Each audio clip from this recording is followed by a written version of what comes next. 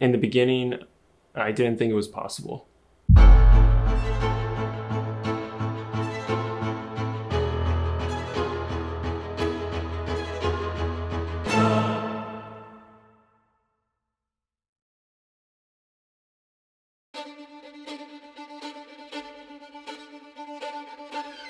I searched online everywhere. I drove around looking, walked around. I even broke into. I didn't break into, but I went into a few locations that I wasn't supposed to go into.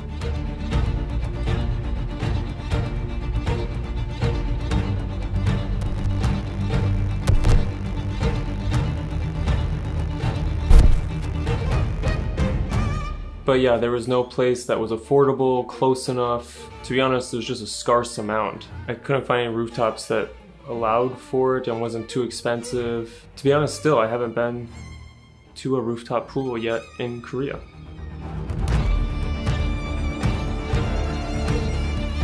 So I finally realized that if I wanted a rooftop pool, I was gonna have to make one myself.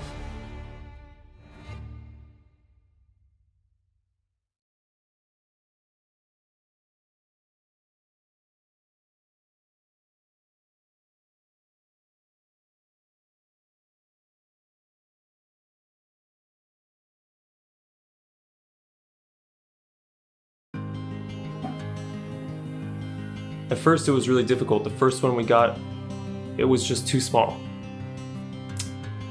I barely fit in it. So, pretty quickly, I realized my mistake and I got a bigger one. And then the main problem was blowing it up. It took a long time. I think it took about 20 minutes to blow up. And then after that, I had to fill it up with water. And again, that was. That also took time.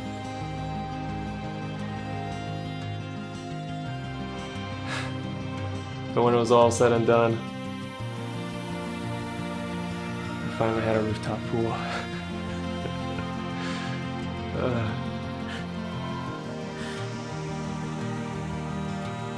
it's changed my life.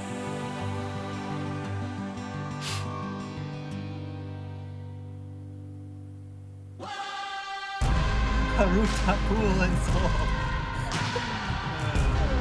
Thank you, Will. Just pouring water on.